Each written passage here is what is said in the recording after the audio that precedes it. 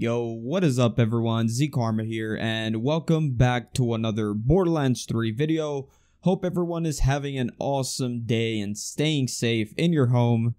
But today I will bring you guys the best legendary farms for the new mini event called Loot Monster Mayhem. This event will last until April 16th and during this event, special loot enemies will spawn more frequently and will also have a higher chance at dropping legendary gear.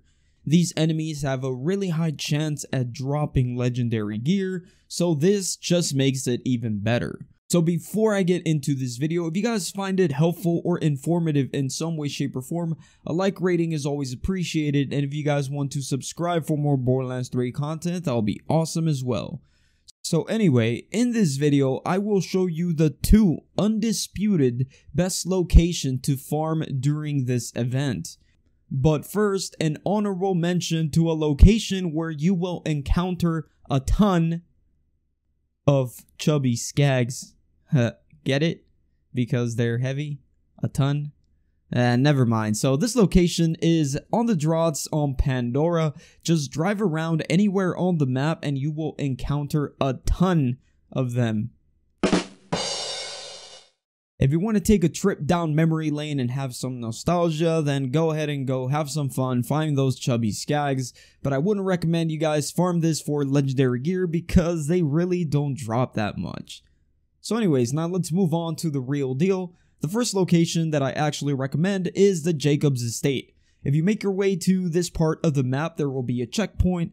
Head over this way and at the very back, there's a chance for loot to spawn in. If not, you can head back where you came from towards the gondola area wherever you get that automatic escalator. And right before you actually get there, there will be four or five possible spawns for the loot tank.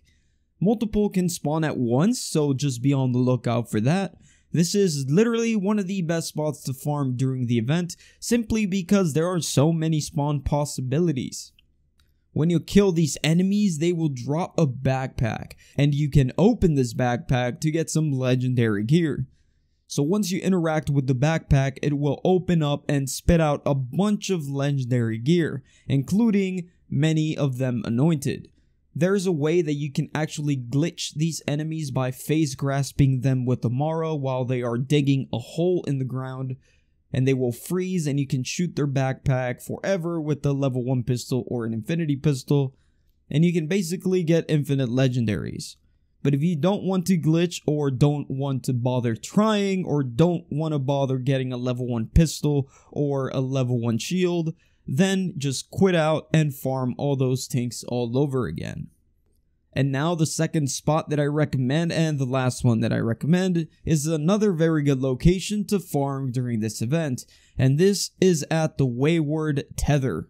This is where you do the Trial of Instinct and you only have to go into the first area. In there you will find a lot of animal enemies and they are really really easy to kill. But what you're looking for is the enemies that are carrying barrels of money. Normally, these barrels, all they do is drop money, but during this event, these barrels drop a crap ton of legendaries. In this area alone, there will be at least 4 loot jabbers that will spawn in every single time. Make sure you destroy all the barrels in the area and as well as those loot jabbers, make sure to kill them because they do get away and they also drop legendaries upon getting killed.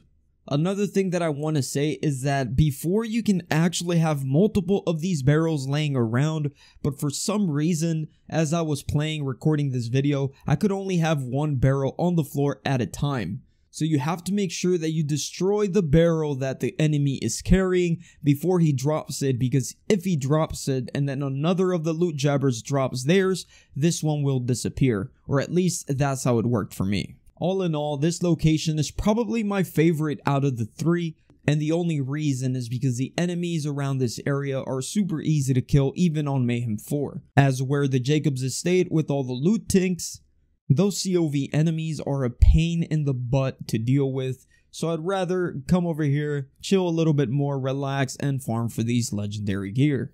So anyways, guys, let me know what you guys think about these areas. What do you guys think about this event? What have you been farming? Or are you sticking to the rare chest mini event instead of the actual loot monster mayhem event. So just make sure to let me know your thoughts in the comments below. And with that being said, I'm going to go ahead and end the video here. If you guys found this video helpful or informative in some way, shape, or form, a like rating is always appreciated. And if you want to subscribe for more Borderlands 3 content, that'll be awesome as well. Hope y'all have a fantastic rest of your day and I will see you guys on the next one. Peace out.